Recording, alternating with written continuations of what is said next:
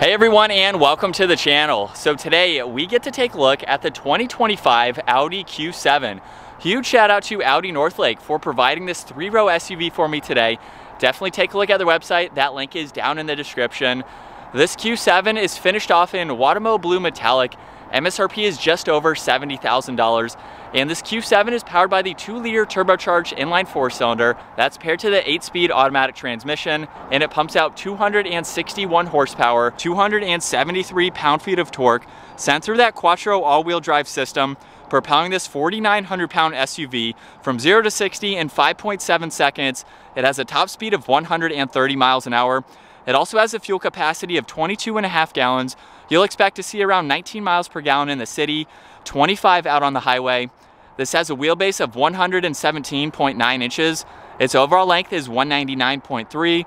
It has a width of 77.6 and a height of 68 and a half inches. As we move on to the exterior styling now for the 2025 Q7, this is a refresh for the Q7. So there's no major updates. We just have a few uh, minor differences from the last model year. One of those differences is the inlets on both sides just have a little bit different shape to them. Very nice with the brushed aluminum and gloss black along with some of the parking sensors. But the uh, large hexagonal grille is still the same shape.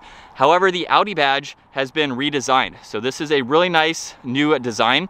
There's a forward facing camera, sensors on both sides for the adaptive cruise, and then some chrome for the uh, trim accents within the middle there, brush trim for the entire surround. Headlights are a little bit different in their design. There's actually two strips for the turn signal and the DRL, so those are separated. Everything is LED, of course, and then there's some more brushed accents in the lower section with some more cutouts down below and then lines that come down the hood. So very subtle in those differences, but a very nice look. Now, as we work our way to the side, not many differences here. We have a very nice set of 17 inch wheels for this model that matches the uh, brushed aluminum very nicely. This has the power folding side mirrors with a camera and a turn signal. Full moonroof up top along with the roof racks. All the window trim is chrome and it has a great design to it. There's no differences with the overall shape, but very nice lines that run down the side. We have some bulges for the front and rear fender arches, just to give it a little bit more depth perception. And then in back, this has a body colored spoiler with the third brake light. Wiper blade is in the lower section. There's the new Audi logo. A little bit different design for these LED taillights. More brushed aluminum running right through the middle of that power lift gate. There's all of the sensors as well, backup camera. This can even tow right around 4,400 pounds. And the biggest difference for the Q7 is now that it has real exhaust tips and it makes the rear end look that much nicer. Now, as we work our way to the interior, you can use the button on the key fob or the one up underneath to open up the power liftgate where this is a three row SUV. So currently we do have some items in the back, but the third row is automatic. So you have those controls down on the side where you can easily lower these seats and raise them back up. The second row is all manual. So there are three individual seats that you do have to maneuver, but even with them up, it's not all that bad. We have some bulky items in here at the moment, which makes it look a little small, but you can definitely fit in a lot of items. And there's a little bit of storage underneath the floor, mainly access to some of those components. But you have a good amount of space and sizing for this. We'll check out how I fit once we work our way into the back there. But you can close the power lift gate, you can lock it too. You can even lock and unlock this from the back door handles. So I just locked it, and if I go back up to it and grab the door handle, that will unlock it.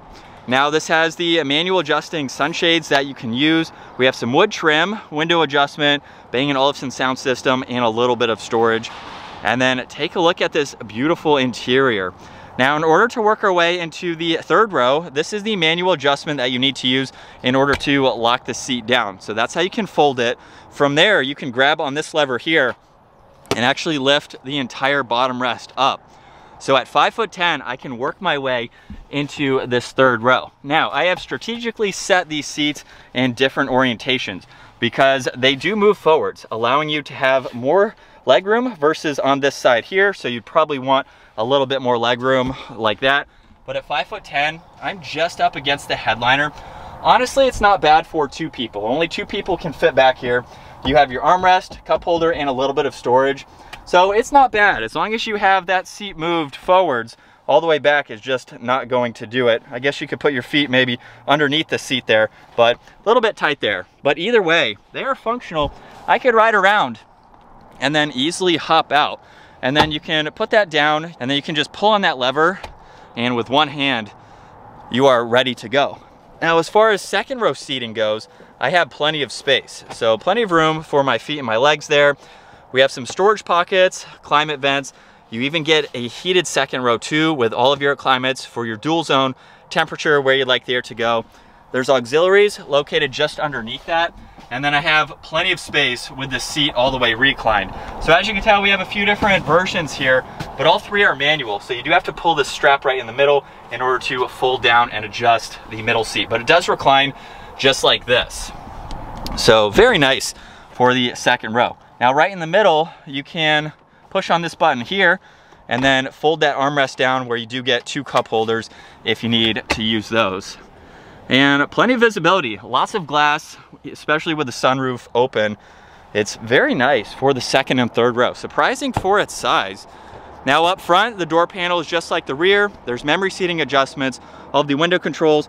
Power folding side mirrors are also heated too. And then same amount of space down below. And then a beautiful set of front seats, which are power operated. So all those controls are on the side, of course. Now as we move on to the steering wheel, solid black leather. Let's start this up though. And we can go over the virtual cockpit where on this left side, there's all the controls in order to do that. On the right side, there's Bluetooth and voice commands, volume and tuning, and then you even have a favorites button. So you can push on this and that will pop up with anything that you use the most, you can configure there. This also has a set of steering wheel mounted paddle shifters. But coming back to this gauge cluster, engine temperature is on the left, fuel is on the right side, and then you can scroll through your adaptive cruise, you have your audio, you can look at your phone, even pull up the navigation. And then you have a few settings here that you can scroll through just to monitor all of that. Now, if you'd like to see something like the nav in full screen, just click on view and you can bring that up and you can still go through all this info in a little bit larger of a view. So just depends on what you need to see for the day. Your tach and miles per hour will minimize or become larger if you'd like to see them a little better. Now there's a little bit of storage on the left side of the steering wheel there. You have your headlight adjustments with some uh, gloss black there. And then as we work our way back to the infotainment system, this is not new from Audi. So we have the split screen there, and then you also have a lot of icons that you can go through, just depending on what you need to see. There's also the fixed shortcuts on this left side, so you can get through all of that info, but very easy to use. Everything is laid out incredibly well. In between both of these screens, there's the engine start stop, downhill assist. You do have shortcuts for your nav, so you can quickly put those in. Garage door buttons, and you can also shut that upper screen off if you would like to. Now the lower screen is basically all of your climates. So you have fan speed, temperature, heated and ventilated seats. You can even get into the heated steering wheel as well as the rear adjustments too. And then there's a few other controls down below, everything laid out well.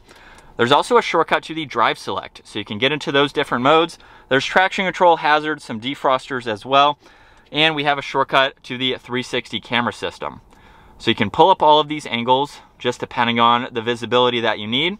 And then there's also another control for your driver assistance. So you can set that up the way that you would like to. Power and volume is over on that right side. Now there's two cup holders, a little bit of storage, and a 12 volt. This is how you put the vehicle into reverse where that backup camera will appear and then you have drive and you can also shift using the shifter or the steering wheel mounted paddle shifters. And then park is just behind that. Now there's the e-brake. You can also adjust the center armrest and then when you open that up, you have wireless charging, some auxiliaries, and a little bit of storage. And then plenty of storage located in the glove box there. Up top, there's the touch sensitive dome lights, as well as the controls for the sunroof and the sunshade. And here's a look at visibility. It's a long vehicle. You have a little bit of a pillar there, but large windows on both sides. So you can even see over that left side. As we set off now behind the wheel for this 2025 Audi Q7. For the interiors, I've already seen not too many changes, but we have some subtle exterior changes, which is really cool to see for this. Hopefully, I would assume for the 2026 year model, we will see a complete upgrade, possibly for the Q7. But it's been quite some time since I've been behind the wheel. I just got out of an SQ8 where it's very similar for everything as far as the technology layout. We just have a much smaller engine for this, Obviously, you can go up with an SQ7 if you would like to, or you can even go RSQ8 if you want even more power, which is not a third row. But you have a lot of options depending on the power that you want. So it's what you'd expect for a Turbo 4, especially with the weight of this SUV, but it handles well too. So it's nice that this isn't the performance version. You're not buying this to do zero to 60 runs. You're buying this for the third row to be a little bit more practical in size. However, it handles very, very nicely. So while it doesn't have the power for its weight, it has the handling characteristics to go around some turns like we are doing today. But it drives so nice.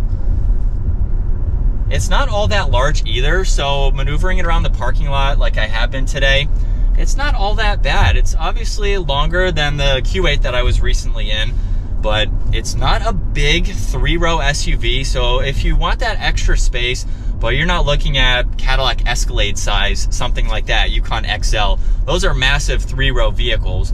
You can get something a little bit smaller that is still going to be just as practical. And it's so quiet driving this on the road. I think we have acoustic glass for the front windows, which does make it a little bit more quiet, a little bit more comfortable feeling. This is something that you can drive every single day. It's so relaxing to be behind the wheel. And while we are in dynamic mode, we'll go into second gear. Here we go. I will say it's not bad in its acceleration. It feels like it has an adequate amount of power for its size and the paddle shifters are pretty responsive. So we have that Tiptronic automatic. So if you need to use the paddle shifters, they are there. Not a loud vehicle either, of course, being the four cylinder here, but plenty of power and it handles well around these turns. So I am impressed with its handling, which I think is a major characteristic of any vehicle, let alone a three row SUV like this just so that way you can take turns at a normal rate of speed. There's, does, there's no body roll or anything like that. It's gonna feel super comfortable and composed going around some of these turns. But this is what it's like to be behind the wheel for the uh, 2025 Audi Q7. Definitely a luxury focused vehicle and one that has several options depending on what you would like. We have some wood trim for this, a piano black. There's different options that you can get if you just want a different type of material and some other options to really give you a good price range for this model.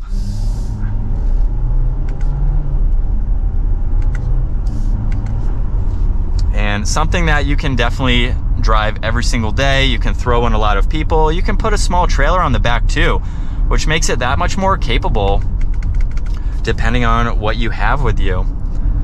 But that is going to wrap it up for the 2025 Audi Q7. Once again, huge shout out to Audi Northlake for providing this refresh Q7 for me today. Take a look at their website, give this video a huge thumbs up as well if you enjoyed it, and consider smashing that subscribe button so you don't miss out on our daily uploads. And I will see you all in the next video.